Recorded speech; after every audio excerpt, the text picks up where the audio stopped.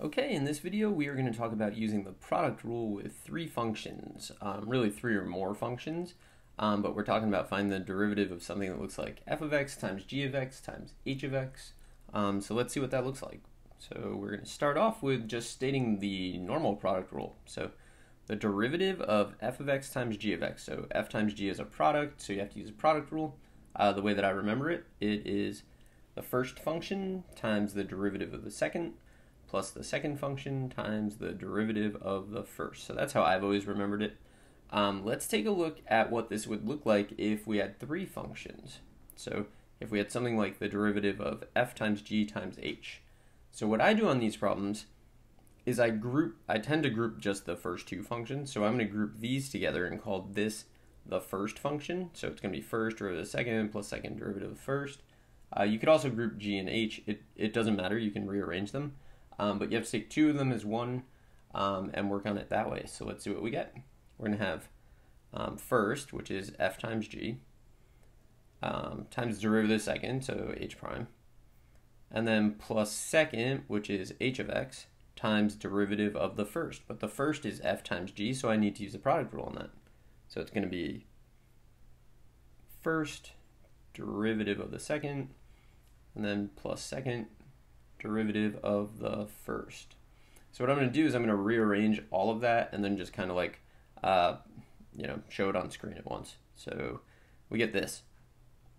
So I distributed h of x uh, in the line above, and then I kind of rearranged it. So each of them just goes in order f, g, h, but it's f times g times h prime plus f times g prime times h plus f prime times g times h. So if you look at it, we had three functions, and we ended up with three products that we're summing up. So if we have, uh, this is kind of general truth, right? In the first one, we had two functions. We ended up with two products that we were summing up. And each of the products um, has one of the derivatives. So in each product, we're going to get one of the derivatives. So when you're looking at the normal product rule, there's two functions, so we're going to get two products that we're summing up. And it's uh, the first derivative of the second, and then there's the second derivative of the first. So they each have one of the derivatives. When we have three functions, uh, they each have an f, g, and h, but the prime kind of like works its way through the product. Uh, it shows up once for each function.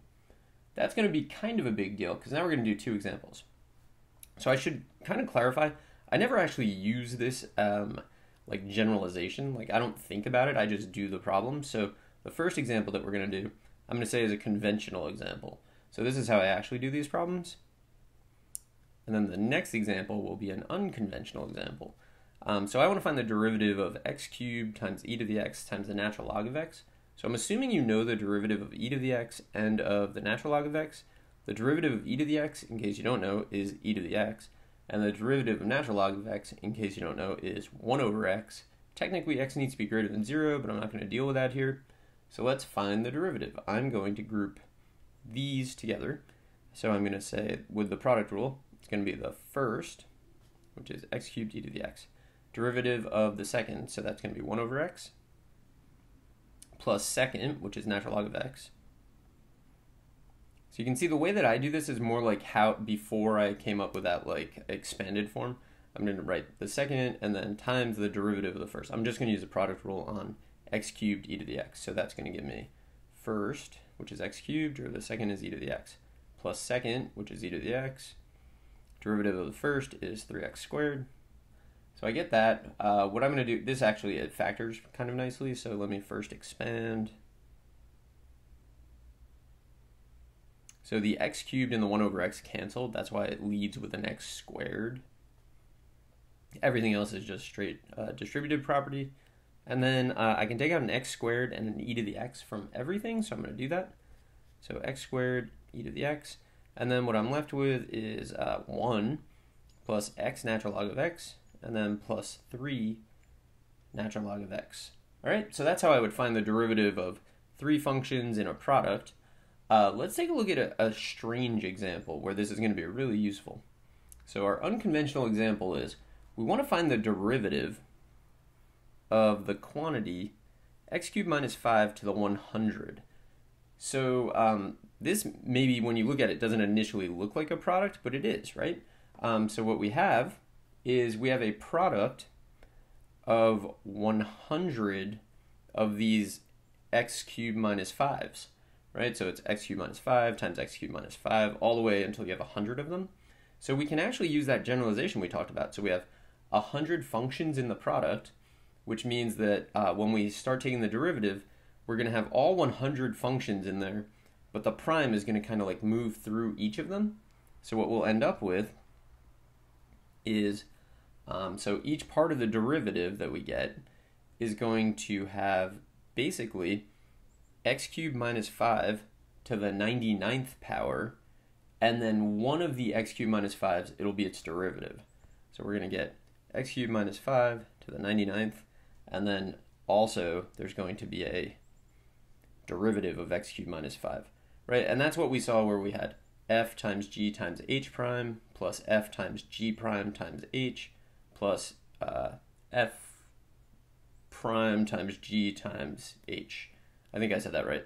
Um, so it's, you know, we have 99 x cubed minus 5s, and then the derivative of x cubed minus 5. And then we would have 98 of them, the derivative, and then another one. Then we would have 97, the derivative, and then another 2. So when you work that out, you always end up with 99 of the x cubed minus 5s, and then 1 of the derivative of x cubed minus 5. So there's going to be 100 of those products that we end up with. So when we have two functions, we get two products and add them up. Uh, when we have three functions, we get three products and then we add them up. In this case, we have 100 functions, so we're going to have 100 products and we're going to add them up. Um, but what's nice is that all the products are the same. So when we add them up, we just get 100 of these products. So x cubed minus 5 to the 99th, and then times the derivative of x cubed minus 5. And then if we just work this out, the derivative of x cubed minus 5, we know, is 3x squared. And then we should just simplify this. So I'm going to say the final uh, derivative of this thing, using the product rule, like a very general form of the product rule, gives me 300 x squared, the quantity x cubed minus 5 to the 99th. It's like a neat application of the product rule that maybe you haven't thought of before. Uh, I thought it'd be neat to look at it. I hope you found this helpful, and good luck.